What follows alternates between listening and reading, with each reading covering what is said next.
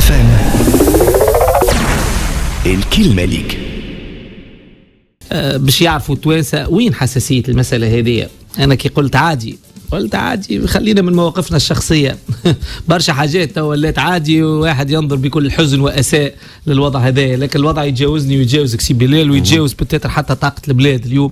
لأنه التطورات والأحداث اللي قاعدة نشهدها حولنا تطورات متسارعة وخلينا نكونوا موضوعيين. أنا أنا أنا إذا كان نحس بالمرارة بالجد نحس بالمرارة بالجد أه وقت اللي ننظر لكل الشعارات هذيك الثورجية ومتاع لا أمريكا ولا قطر ومتاع سيادة ومتاع إحنا أصحاب السياده على الأرض وأنجزنا ما أنجزنا من حريتنا ومن حريتنا. هي معقولة رأي الشعارات هذه أما ماذا بيا إنه يكون فيها شوية تواضع؟ لأن المرحله الناس كل كنا عارفينها إنه إذا كان باش نخلصوا فيها ثمن راهو ثمن من من من من وضعية دولتنا ومن قدرتها على صيانة حرية قرارها. كي يقول الكلام هذا راهو ملومش على الأخذين بالزمام القرار السياسي في البلاد. مانيش تشي جيفارا أنا. في عوضهم مانيش باش نعملوا حاجة أكبر من الظرف. الظرفيه صعيبة. لكن يزيو من النفاق وكهو. يزيو ما كل اللغة اللي شنفتوا بها آذاننا الطبقة السياسية الكل. نتاع التحرر والإمبريالية والاستعمار وكذا اليوم فما الريال بوليتيك الواقعيه السياسية. تفرض عليكم شنو هو حجمك أنت اليوم في المنطقة شنو هي وضعيتك شنو هي اكراهاتك دولتك في حاجة للآخرين. إن كان ذلك على مستوى الاقتصاد أنت اليوم قاعد تستنى تستنى في رحمة ربي لعلها تجيك في مؤتمر الاستثمار. كون واضح كونوا واضحين. اليوم على المستوى الأمني والعسكري هاك تشوف.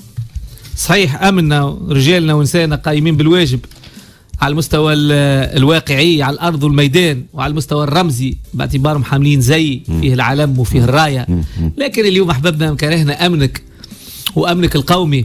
اليوم الله غالب ولا يصير في إطار التعاون مع الجهات هذه اليوم ما عادش تنجم منطق السيادة لا الأمريكي يدخلوا فيها. اليوم الأمريكي قاعد في عقر دارك اليوم. الله غالب فرضت عليك التطورات الإقليمية فرضت عليك خطوره الظرف فرضت عليك الحرب على الإرهاب. واللي ما نعرفش هما صنعوه باش يجيو يقاوموه توا. j'en sais pas راهو ولا واحد كي باش يحب يحلل ولا يشعر بالمرارة.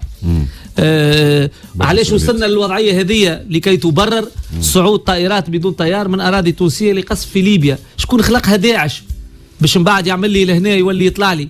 ثم خلينا نكونوا شوية جديين خارج إطار الانطباعات النفسية والوجدانية نتاع نحس بالمرارة ونحس بالمرارة. تسريب الخبر في الوقت هذايا إن شاء الله ما يكونش زاده رسالة ضمنية لل... مش للجار الليبي. الجار الليبي اللي يشهد حالة من الفوضى وتقريبا سينتهي بالأمر أنه يطلب هذا التدخل العسكري من طرف الليبيين أنفسهم. وهذا اللي حاصل اليوم. وليبيا مش جديد الطائرات الفرنسية تقصف والطائرات الإنجليزية تقصف والإيطالية تقصف والأمريكية شفناها كيف تقصف. أنا مشكلتي اليوم أنه عندي جيراني في الغرب عندي علاقاتي الاستراتيجية مع الجزائر. إن شاء الله لا يتم التشويش عليها. من خلال مثل هذه الأخبار. لأن الناس كنا نعرفوا أن الأخوة في الجزائر ما ينظروش بعين الارتياح كثيرا للنشاط العسكري الأمريكي على حدودهم القريبة اللي هو ينطلق أصبح بمثل ما خرجت المعلومة هذه معناتها اللي حاجة تعاون ليبيا معناتها.